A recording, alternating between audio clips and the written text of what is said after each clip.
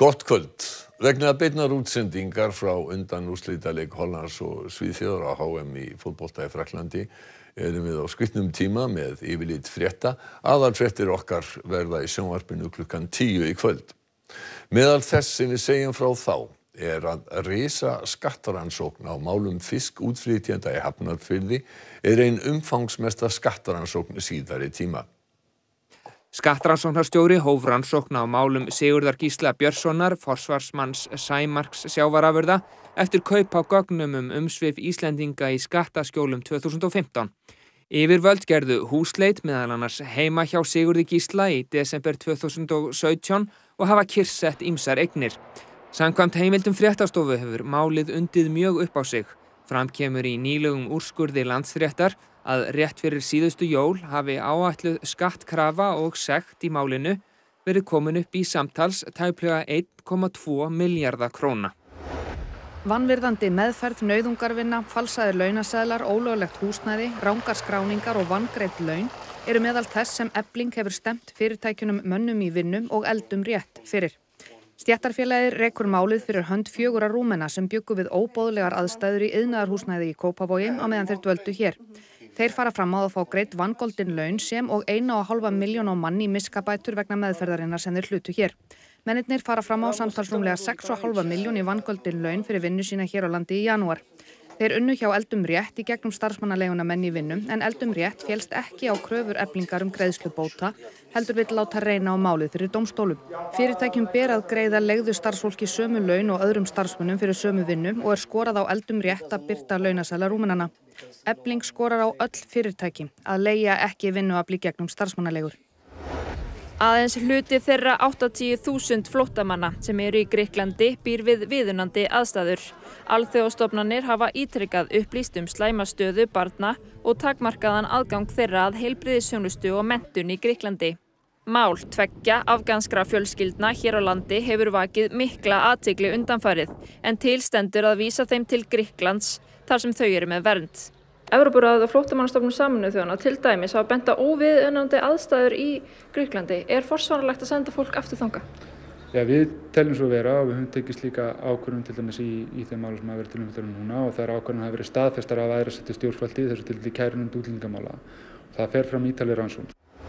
Fyrir tæpu mánuðu var kveikt á nýju kerfi löggæslumyndavél á Akureyri og vélunum fjölgað úr þremur í átta. Svo nýjunda verður sett upp á næstunni. Flestar eru vélarnir í miðbænum og nýtast við löggæslu og eftirlit innanbæjar en einnig við eftirlit með umferðinni til og frá Akureyri. Við erum bara orðið varir við ákveðið ákall frá fólki um að þetta vandi og og held að byrjunumálið hafa nú kannski verið ákveðin vitundarvakning í þessum öfnum og þetta eru gríðilega gaglið tæki fyrir okkur í rannsóknum á skemdarverkum, líkamsárásum, jafnvel fíknjarnamálum. Fjöldi fólks fyldist með almirkvu á sólu sem sást vel í Tíli og Argentínu um klukkan sjö í gerkvöldaði íslenskum tíma. Hér á landi var síðast almirkvu á sólu 1954. Eh, næsti almirkvu á Íslandi verður 2026, 12. ágúst. Eh, á mjög góðan tíma og sagt, þá er best að vera einhver staðar á Snæfellsnesi eða vestfjörðum þar sem hann mun sjást uh, langt best og vara í ekki meira en svona cirka tvær mínútur. Hvað var það sem við sáum hérna fyrir fjórum árum?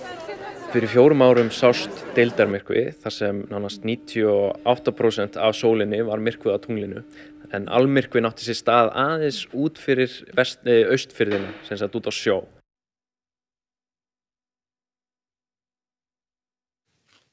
Og þá er það veðrið, Rapp Guðmundsson tekur við. Komið sæl.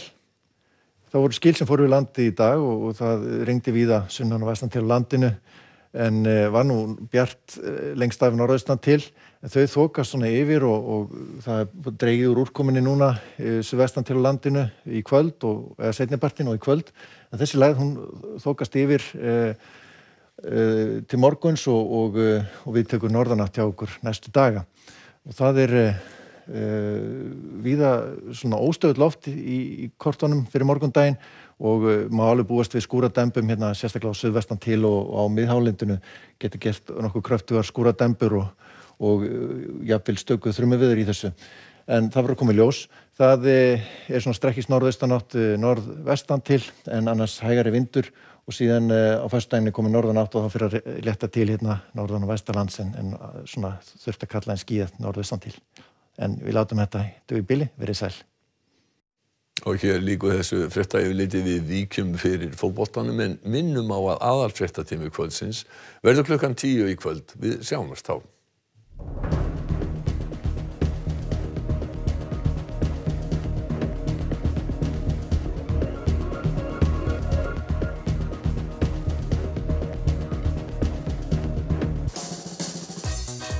Í nýja Krakkarúf appinu getur þú séð fullt af skemmtilegum íslenskum þáttum.